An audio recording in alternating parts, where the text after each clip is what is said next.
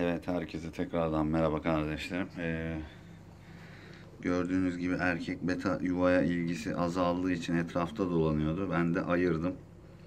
Valla gözlemlediğim kadarıyla bakın şurada bir yavru var. Yani gözükmüyor o kadar küçük ki. Burada da bir tane var. Ee, belli olmuyor inanın.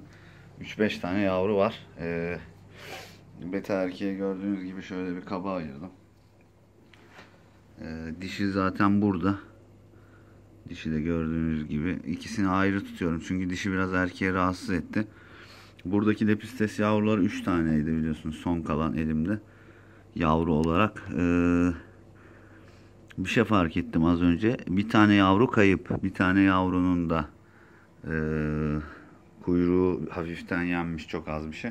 Herhalde suçlusu da bu hanımefendi. Buna da böyle bir strafordan öteki bu küçük akvaryumdan çıkardığım lambayı taktım. Altında şöyle alüminyum folyo ile kapladım. Harika oldu. Kardeşlerim herhalde su marulları tırtladı gibi gözüküyor. Yani yapacak bir şey yok. Su marulu serüvenimiz başarısızlıkla sonuçlandı. Bu akvaryumda da güzel kardeşlerim e, lepistes yavruları geziniyor görüyorsunuz. bir tane dişi yumurta şeklinde ve oluşmamış yavrular atmış. Ee, yani gördüğünüz gibi şuradan bir dişi bu. Ee, genç bir dişi herhalde ilk doğumu bu sarı kuyruklunun. Ee, buradakilerde gördüğünüz gibi bayağı dolu iki dişi var. Ee, bekliyorum yani eli kulağında. Bunlar yine çiftleşmeye devam ediyorlar falan filan. Bunlar da dolacak kısmeti. Az önce yemledim. Hala telaş içinde. Son durum böyle kardeşlerim. Paylaşmak istedim. Bakalım beta yavrularını büyütebilecek miyiz?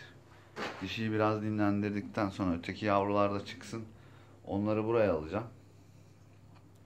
Hatta şu an burada beta var diye sadece e, sizin huzurunuzda şu havalandırmayı da kapatayım. E, belki su marullarından son kalan bir şey var. Kök var şurada bakın. Onu kurtarabiliriz belki. Sanki kurtulacakmış gibi. Yani öteki yavruyu herhalde bu yedi ya hakikaten. Ama koca da yavru yani nasıl yiyor ben anlamadım. Yani kaybolduğuna göre demek ki.